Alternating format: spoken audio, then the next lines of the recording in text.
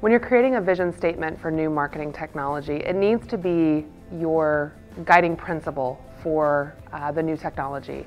Uh, it's really what helps you keep aligned as you're deciding what that technology is, how it's going to help improve your organization, and also offer you the ROI that you're looking for.